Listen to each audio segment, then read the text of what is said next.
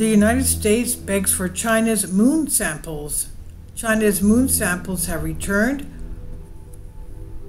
to the to Earth. NASA is uh, upset about being excluded from China's Chang'e 6 moon mission, which is sharing lunar samples with other countries like Italy, France, and Pakistan. The issue stems from the US Wolf Amendment, which restricts NASA from collaborating with China on space projects. So there you go the law does not allow them to uh, collaborate with China. So why should China give samples? Now, to receive the samples, the U.S. needs to lift these restrictions, but China is in no hurry to accommodate, adding to the tension NASA's promise to return to the moon by 2026 ahead of China's 2030 goal makes cooperation even more challenging. The unfolding space race drama raises questions about international collaboration and competition in lunar exploration. As reported by CNN, the Chinese government has now has something no other human has ever seen, rocks and soil from the far side of the moon. The successful return of the Chang'e 6 lunar mission with historic cargo on June 25th was a scientific coup that cemented China's status as one of the world's leading space powers, second only to the United States. And we know that whoever dominates space dominates Earth, obviously. Now, amid increasing competition in the worldwide race to create a permanent human presence on the moon, China's space agency is once again following NASA's lead established decades ago after the Apollo missions by sharing lunar samples with scientists across the world. China welcomes scientists from all countries to apply to study the samples and share in the benefits, said Liu Yuanfeng, director of the China National Space Administration CNSA International Cooperation Office, at a press briefing in Beijing on Thursday. NASA's administrator, Bill Nelson, told CNN that he is pleased to hear CNSA intends to share the materials gathered by Chang'e 6 lunar probe last month. The samples obtained with the drill and a mechanical arm contained up to 4.4 pounds, that's 2 kilograms, of lunar dust and rocks from the older old crater from an old crater on the moon's far side that is never visible from our earth. Make it available to the international community just as we will when we start bringing additional samples back, as we did half a century ago with the samples brought back from the Apollo the six Apollo moon landings, Nelson said. It's a rare moment of agreed agreement between the two space organizations racing to land astronauts on the moon and establish a station near the lunar south pole. However, U.S. access to the samples may be hampered by the Wolf Amendment, a 2011 law that prohibits NASA from using government funds for bilateral cooperation with China or its agencies without prior authorization from Congress or the Federal Bureau of Investigation effectively prohibiting the space agency from routinely working with its Chinese counterparts. The root cause of the obstacle to China US space cooperation lies in US domestic laws, such as the Wolf Amendment, which hinder cooperation between the two countries in space exploration, said Bian Zhigang, vice chair of China's National Space Administration, during the Thursday news conference if the US truly wishes to engage in normal space exchanges with China, I think they should take concrete, measure, concrete measures to remove these obstacles, he said.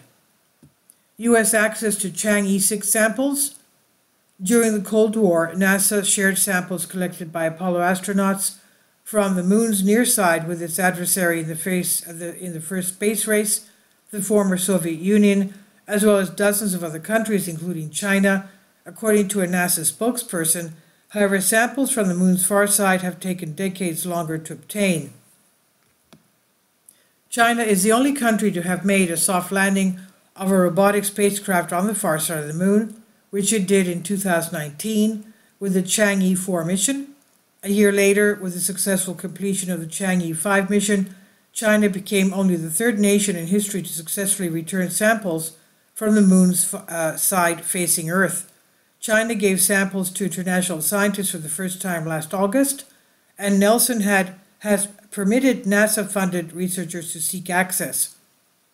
We're going through the process right now with our scientists and our lawyers to make sure that the instructions and guard guardrails that the Chinese are insisting on are not a violation of the law, the Wolf Agreement, the Wolf Amendment, Nelson told CNN. As of this moment, I don't see a violation, he said. Any similar application to investigate the Chang'e 6 samples must go through the same vetting process, Nelson said. The Pentagon space program will continue to determine whether NASA funded scientists and organizations can access the samples by congressional restrictions on NASA interactions with China, the space agency. The race to the moon. According to Nelson, China now intends to place astronauts on the moon before the year 2030, whereas the United States plan to do so later in 2026. Despite China's recent success with robotic lunar missions, Nelson remains sure that the United States, through NASA's Artemis program, will beat Beijing in the second space race to place people on the moon. Space flight is hard, but human space flight is especially hard, Nelson said, and magnitudes more difficult than a robotic landing. NASA currently has an advantage in testing spacecraft capable of transporting humans to the moon.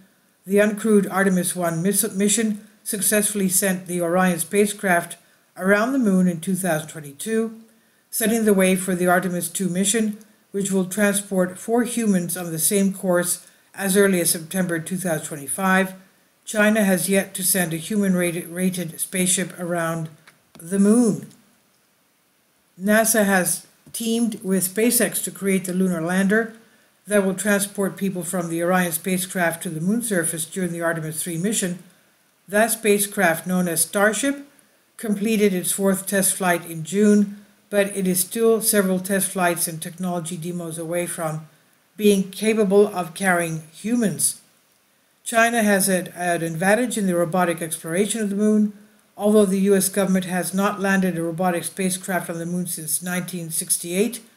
NASA is currently paying private companies to construct lunar landers through its commercial lunar payload service CLPS program.